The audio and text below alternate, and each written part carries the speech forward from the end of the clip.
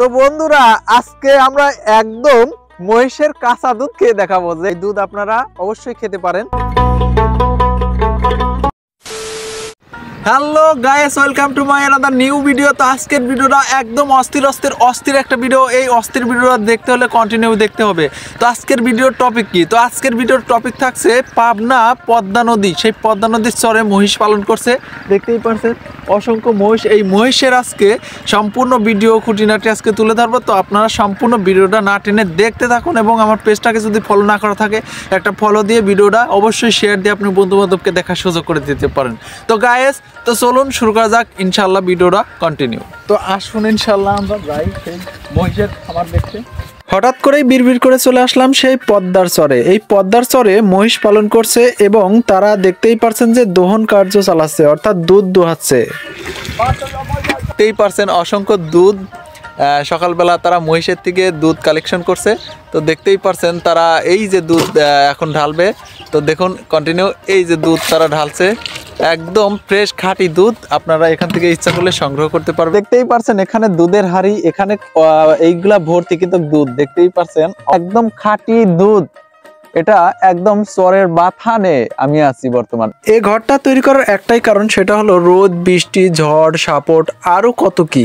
সবকিছুর থেকে রেহাই পাওয়ার জন্য এটা তৈরি করে। তারা এই জনশূন্যে তারা বসবাস করে। আসলে চাইলাম যে মহিষগুলার একদম সরাসরি কাছের থেকে আপনাদের দেখাবো। কিন্তু মহিষগুলা যে এত ভিতর ভিতু ছিল যে কাছে না যেতেই তারা ভয়ে খুবই আতঙ্ক সৃষ্টি করছিল এবং তার দুধ দহন পদ্ধতি করতেই দিচ্ছিল না।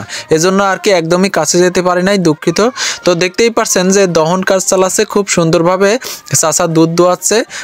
অবশেষে আমরা দুধ দোহানোও দেখলাম। দুধ দোহাতে না দোহাতেই তাদের রান্না বান্না শেষ, তারা খেতে বসেছে। দেখতেছি যে তারা এখানে খেতে বসেছে।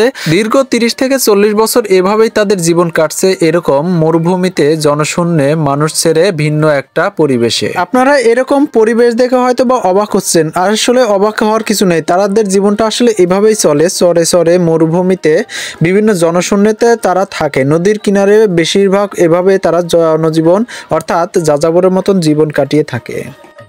সালাম আলাইকুম কেমন আছেন? ওয়ালাইকুম আসসালাম ভালো আছি। ভালো আছেন? তো এত মানে খুশি খুশি লাগতেছে কেন আপনার? তো। দুধ হচ্ছে এক মন করে ও আচ্ছা এক মন করে দুধ হচ্ছে এটা কি সত্যি? হ্যাঁ বিশ কেজি করে হয় বিশ কেজি করে কয়টার থেকে? হয় দুধ নি এক দশ চোদ্দটা দয়। ও আচ্ছা। আপনার মানে দহন কয়টা আছে? দোকান আছে চোদ্দটা।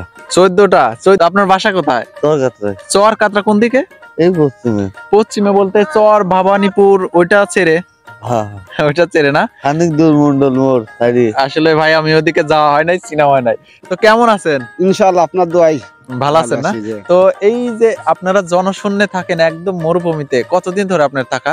আমি দীর্ঘ তিরিশ বছর আমি এই পারে আছি। তিরিশ বছর? বুঝতেই পারছেন যে তিরিশ বছর এরকম চরে চরে মানে মরুভূমিতে এখানে তারা থাকে। তো মহিষকে কি খাওয়ান? এই যে এখন শীতকালে খেহারি খাবাই যা আবার আপনার খেয়ার যে বিচিলি খাবাই শাল খাবাই।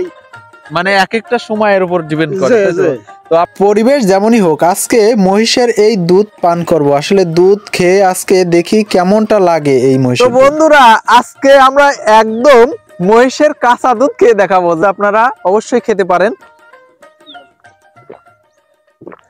তো আজকের এই ভিডিওটা আপনাদের কেমন লেগেছে? অবশ্যই আপনারা কমেন্টের মাধ্যমে বলবেন। আর যদি ভালো লেগে থাকে অবশ্যই একটা শেয়ার দিয়ে আপনার বন্ধু বান্ধবের আইডিতে অবশ্যই ছড়িয়ে দিবেন এবং আমার পেজটাকে যদি ফলো করা এখনও না থাকে অবশ্যই একটা ফলো দিয়ে আমাকে সান্ত্বনা করবেন।